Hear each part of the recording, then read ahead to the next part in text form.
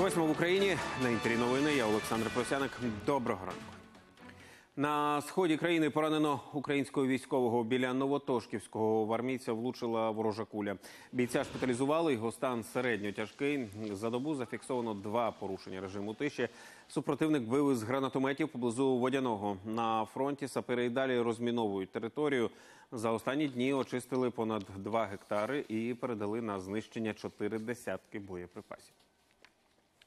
У Чорному морі стартували міжнародні військово-морські навчання Сібриз 2021 Це наймасштабніші тренування за останні 20 років. Від України в них візьмуть участь кілька десятків кораблів і літаків. Половину особового складу становитимуть саме українські армійці. А радниками і спостерігачами будуть приблизно півсотні військових із 17 країн світу. Як усе відбуватиметься, розповість Андрія Настасу. Рекордна кількість учасників цьогоріч у маневрах задіяні військові з 31 країни. Організатори традиційно Україна та США. Протягом двох тижнів учасники тренувань відпрацюють безліч операцій у відкритому морі, на березі із залученням морської піхоти, у повітрі та під водою. Сьогодні в Одесі відбулось урочисте відкриття навчань. Головне завдання це підвищити взаємосумісність військовослужбовців, штабів та підрозділів військово-морських сил з країнами-партнерами та впровадити процедури планування і ведення бойових дій за стандартами НАТО. Кораблі держав-учасниць прибувають до України. Один з фаворитів, американський есмінець Рос, уже зайшов до одеського порту, однак пришвартувався у гавані, яку складно розгледіти з берега. Загалом у маневрах візьмуть участь більш ніж 30 кораблів, катерів та інших суден, понад 30 літаків і гелікоптерів, десятки одиниць озброєння та техніки і приблизно 5 тисяч військовослужбовців. Ви бачите біля нас велику кількість прапорів країн, учасників навчань Sea Breeze 2020. Це представники майже всіх континентів світу. Це знак того, що Україну підтримують весь цивілізований світ.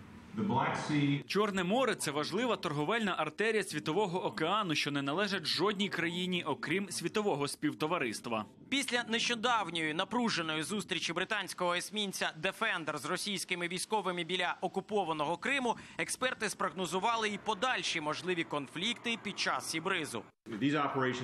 Навчання відбуваються в межах міжнародних вод, тому в цьому немає нічого провокаційного. Цього року розширилась і географія проведення Сібризу. Маневри відбуватимуться на Дністровському лимані, у Дельті Дунаю, на Кінбурзькій косі, островах Зміїний та Первомайській, в Одесі, Очакові, Миколаєві та на Херсонщині. Андрій Анастасов, Ігор Міханошин. Новини телеканал Інтер. Одеса. Верховна Рада сьогодні двічі збереться на засідання. Крім запланованого, проведуть ще й позачергове о 16-й годині. Його ініціює президент Володимир Зеленський. На порядку денному сім законопроєктів про критичну інфраструктуру, основи національного опору та збільшення чисельності збройних сил України. 285 заражень ковідом виявили в Україні попередньої доби. Це мінімум від початку року. Одужали майже 7 сотень людей. Від ускладнень померли дев'ятеро. Найбільше підтверджених інфікувань у Києві протягом минулого тижня в країні вакцинувалися майже 400 тисяч українців. Загалом від початку кампанії майже 2,5 мільйони. Дедалі більше країн ЄС оголошують про відкриття кордонів для мандрівників з поза меж Шенгену. Бельгія з 1 липня дозволить в'їзд вакцинованим українським туристам. На яких умовах і після щеплення якими препаратами розкаже Олена Абрамович. У Франції найменше госпіталізацій від жовтня. У Чехії достроково оголосили новий етап послаблень карантину. А в Литві з 1 липня його взагалі скасовують. З прогресом вакцинації країни ЄС потроху повертаються до звичного життя і оголошують нові правила мандрівок, як для європейців, так і для тих, хто живе за межами Шенгену, зокрема й українців. Головна відмінність правил перетину кордону для країн шенгенської зони для жителів ЄС і тих, хто живе поза блоком, це вакцинація. Для європейців вона не обов'язкова. Вони мають право поїхати на відпочинок просто зі свіжим тестом чи доказом нещодавньої хвороби. Для іноземців, зокрема й українців з біометричними паспортами, без щеплення ніяк. Допускатимуть ЄС щеплених іноземців до слова не з усіх куточків світу. Кожна країна-член вирішує це питання самостійно, ділячи світ на додаткові категорії залежно від рівня захворюваності. Українцям у цьому питанні поки що щастить. Франція внесла нас в помаранчеві списки, тобто приймає вакцинованих туристів так само, як і Німеччина. Бельгія, наприклад, грузинам в'їзд заборонила. Вони у темно-червоному списку, а українцям дозволила. Усі, хто прибуває з поза меж Європейського союзу, мають бути повністю вакциновані протягом двох тижнів препаратом, визнаним ЄС, і зробити ПЛР-тест у день прибуття. ПЛР-тест – це додаткова умова до вакцинації, яку вимагають не лише більшість країн, а часом навіть авіалінії. Та справжні труднощі в українців можуть виникнути не з тестами, а з визнанням вакцин. Індійська AstraZeneca або Covishield, якою щеплювали багато українців, не затверджена у ЄС. Досі під розглядом і не отримала зеленого світла і китайська Sinopharm. Тож поки що відпустки в ЄС можуть планувати лише щеплені корейською AstraZeneca SK Bio або ж Pfizer. Принаймні щодо тих країн, які не зробили винятків. У рекомендації Ради ЄС зазначено два моменти: перший країнам-членам потрібно відкрити свої кордони для туристів, вакцинованих затвердженим у ЄС препаратом. Друге, якщо хочуть, і це додаткова опція, вони можуть відкрити кордони для щеплених вакциною, рекомендованою ВООЗ. Ширший перелік препаратів, а подекуди й просто тест для в'їзду українцям дозволили Греція, Болгарія та Хорватія. Туди наші туристи літали ще в червні з паперовими довідками. Невдовзі ж Україна має перейти на цифрові паспорти вакцинації, розроблені спільно з ЄС. Їх гарантовано мають визнавати всі країни-члени Євросоюзу. З Брюсселя Олена Абрамович. Новини Європейське бюро телеканалу Інтер. Захід Канади та частину США накрила небувала спека. У канадській провінції Британська Колумбія зафіксували близько 47 градусів, рекордні за останні 84 роки. І це не межа, кажуть синоптики. В американських містах Сіетл і Портленд, де зазвичай дощить і прохолодно, температура сягнула 40 градусів.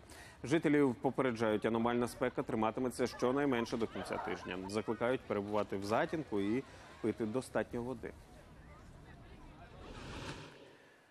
Не тільки сонячними пляжами і теплим морем готуються зустрічати туристів Кіпр. Відпочивальникам пропонують побачити поля, де цвітуть запашні і цілющі трави. Які саме дивіться? Заманювати туристів можна не лише сонцем і морем, а й ароматами. У цьому переконані підприємці з Кіпру. Лаванда, базилік і троянди це ще далеко не повний перелік рослин, завдяки яким намагаються підкорити серця іноземців. Загалом на Кіпрі вирощують понад 800 різновидів трав, з яких виготовляють різні косметичні засоби. Найпопулярніші з лаванди. Я ароматерапевт і цілитель енергії. Знала, що приїхавши сюди, зможу не лише побачити, як росте лаванда в природі, а й отримати енергію та зцілення. Повірте, кожен обов'язково відчує щось особливе, потрапивши в цей сад. Для вирощування лаванди клімат Кіпру доволі сприятливий. Такі трави полюбляють спеку й сонце, запевняють власники полів. А ще цю культуру тут дуже шанують. Приміром, Міранда називає лаванду королевою рослин. Розповідає, що квітку зрізають в особливий спосіб, щоб не травмувати саму рослину. Це прекрасна рослина, яку можна використовувати для розслаблення та медитації. Щодо цілющих властивостей, то вона допомагає в боротьбі з головним болем, мігренню. А ще лаванда це чудові ліки для шкіри. Славиться Кіпр також і трояндовими полями. Так, у невеликому гірському селі Агрос, розташованому на висоті 1100 метрів над рівнем моря, зі сходом сонця люди виходять на плантації. Щоб отримати кілограм трояндових пелюсток, потрібно зірвати майже чотири сотні пуп'янків. Зазвичай працівник витрачає на це приблизно годину, а вже потім із цієї краси виготовляють зо 2 літри трояндової води. Ми починаємо збирати троянди о 5.30, щоб уникнути спеки, адже це допоможе зберегти аромат квітів і, зрештою, отримати трояндову воду та ефірні олії вищої якості. У доковідний період власники плантації отримували прибуток не лише від продукції, а й від екскурсій для туристів. За день на одне підприємство привозили з десяток автобусів мандрівників. Тож уже цього літа на квітучих полях сподіваються знову побачити стільки ж іноземних гостей. Вікторія Парфенюк, новини, телеканал Інтер. І наразі це все. Більше новин буде у випуску о 9 годині. Тоді побачимося. До зустрічі.